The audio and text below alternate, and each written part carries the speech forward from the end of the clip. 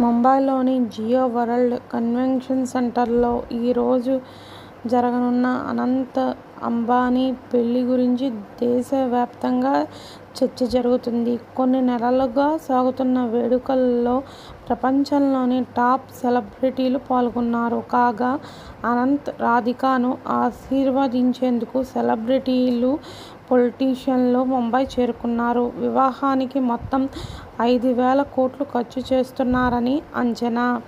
ఇది అంబానీ నికర విలువలో జీరో పాయింట్ ఫైవ్ పర్సెంట్ మాత్రమే.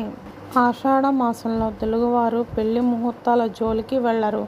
మరి వేల కోట్లు ఖర్చు తో జరుగుతున్న అనంత్, అంబానీ పెళ్ళి మాత్రం ఎందుకు ఆషాఢంలో జరుగుతుంది ఎందుకంటే మనది చంద్రమాస పంచాంగం కాగా వారు అనుసరించేది సూర్యమాస పంచాంగం. సూర్యుని కదలికల ఆధారంగా నిర్ణయిస్తారు. దీనిలో అధిక మాసం ఉండదు. అందుకే తిథులు, ముహూర్తాల ఆచరణలో తేడాలుంటాయి.